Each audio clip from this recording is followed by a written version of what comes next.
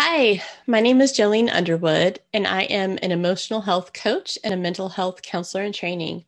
This short presentation is geared for parents and caregivers of adolescents who have been impacted by trauma.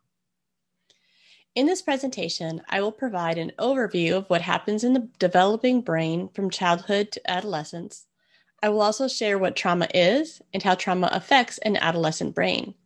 Finally, I will highlight beginning steps to foster healing change for you and your child.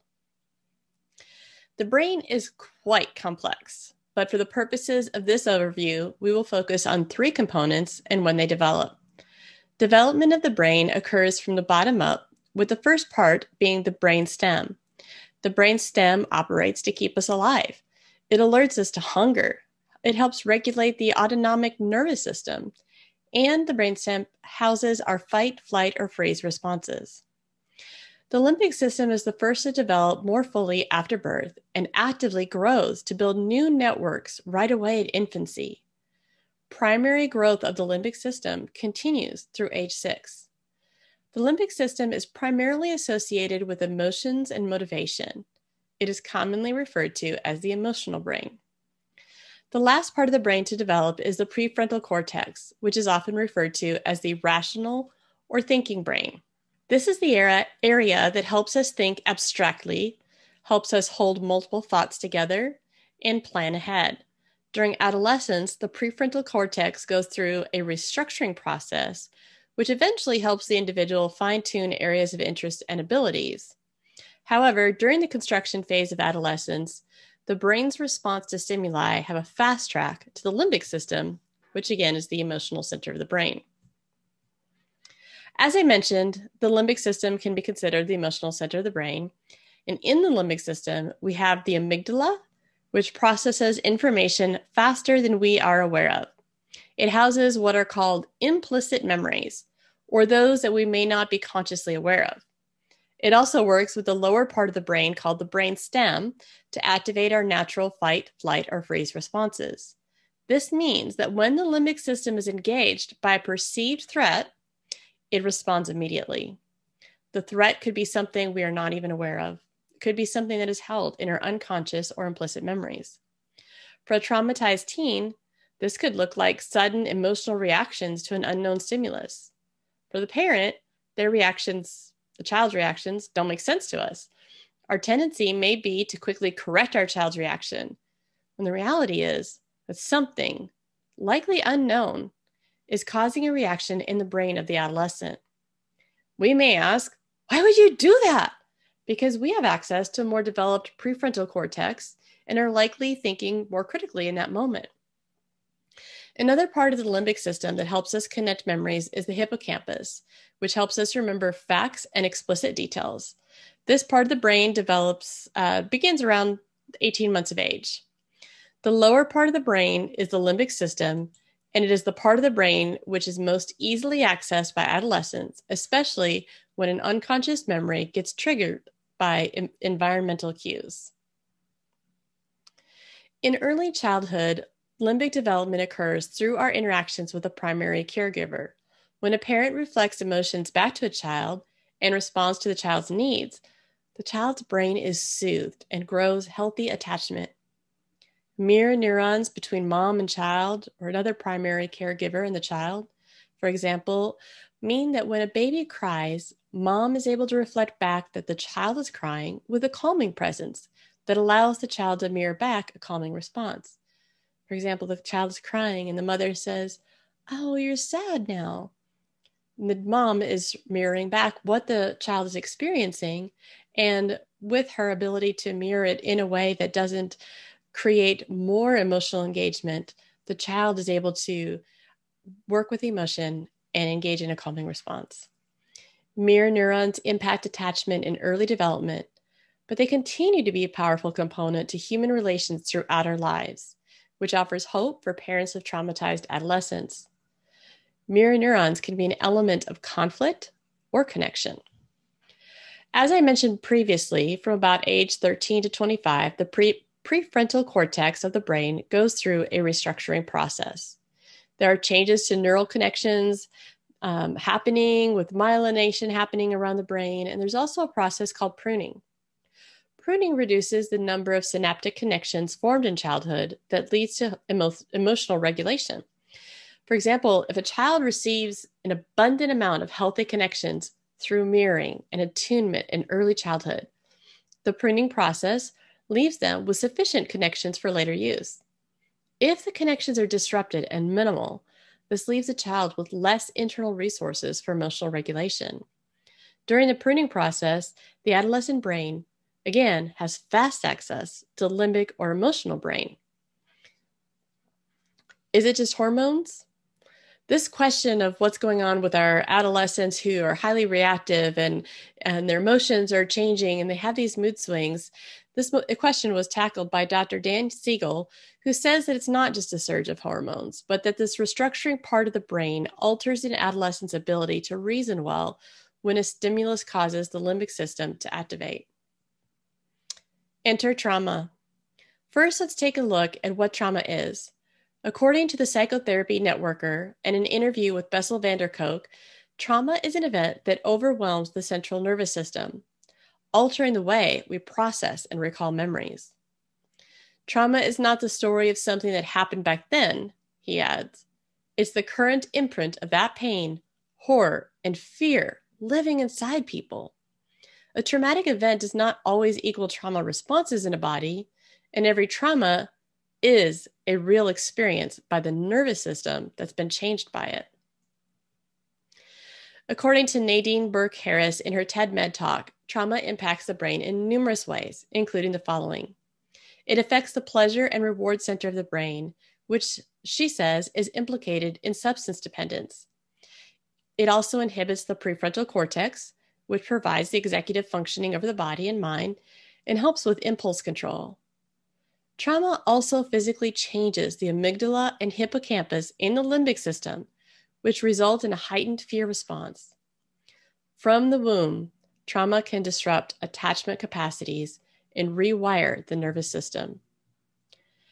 Harris also highlights long term physical health effects like higher risks of COPD and lung cancer, as well as mental health effects like increased depression, anxiety, and suicidality. Normal adolescent challenges are heightened in the traumatized brain. This fast access to the limbic system that occurs in normal adolescent minds means that less logical thinking and there's less logical thinking that's happening and more emotional sensitivity. This leads to challenges in the brain that are normal for most adolescents, and they're exacerbated in adolescents with trauma.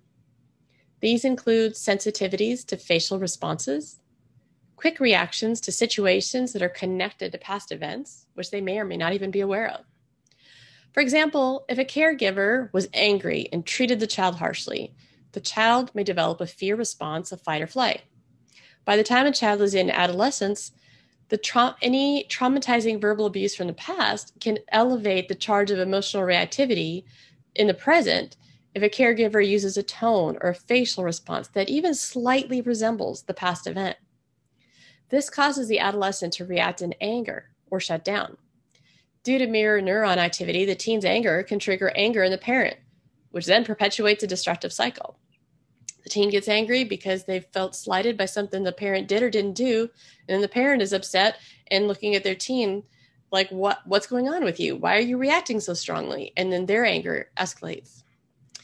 The adolescent brain, as I mentioned before, is going through this restructuring process in the free prefrontal cortex, which means that the logic and reasoning center sometimes goes offline as the limbic system is in high gear. This elevates risk taking behavior and compromises a sense of judgment. For traumatized adolescents, these normal occurrences may be elevated as the nervous system and limbic system are set to remain in fight or flight mode without thinking ahead rationally. Pairing adolescence comes with a unique set of challenges for everyone. But with trauma, some of these concerns become escalated too. You may see your child as irresponsible. Their actions may seem highly illogical. They may have emotions that seem intense, and they may isolate further, either from the family or from all people who could be a positive influence in their life. What happens then? To highlight what is happening in the brain for you and them, Dan Siegel uses a hand to show different areas of the brain. If you make a fist like like he's showing there in the picture, uh, you've got your thumb underneath the fingers and the fingers closed over the thumb. So consider the lower part of your palm and wrist to be the brainstem. Again, this is where the fight or flight response resides. With your thumb pressed up against the inside of your hand, notice that this is like the amygdala, where the joint of the thumb sticks out, and the hippocampus and the rest of the thumb. These are the limbic regions that develop after the brainstem and work with the brainstem by regulating emotions and motivation. Your fingers are representative of, the prefrontal cortex. When they are connected or online, we have access to higher functions like reason and thinking ahead. When they are offline, we are operating out of our limbic or emotional brain. Watch this short video by Dr. Siegel that represents what happens for parents as well as children when the limbic system is highly activated. So that if you put your thumb in the middle of your hand and put your fingers on the top, it's a pretty handy model of the brain. And these prefrontal areas we're talking about are right here in the middle. And how many of you are parents in the room? Okay, so this is the area that allows you to kind of keep your body balanced, emotional balanced, attuned to other people, be empathic, have self-understanding, have morality, all that beautiful, wonderful, integrative stuff. But how many of you, just be honest, as a parent, have ever flipped your lid? right? And Mary Hartzell, my co-author of Parenting from the Inside Out, is here. Let's hear it for Mary. So Mary and I uh, wrote a book, uh, Parenting from the Inside Out, which explores how you flip your lid and how terrifying that can be for kids. And in our experience running workshops for parents, what we found is that when you teach them about the brain, they can stop the self blame that shuts down their going toward their kids to help them make sense of what happened. So instead of being so ashamed of what I did and so shut down, I actually say, okay, I understand. I flipped my lid. My prefrontal region went offline. How do I go back and make sense of what happened.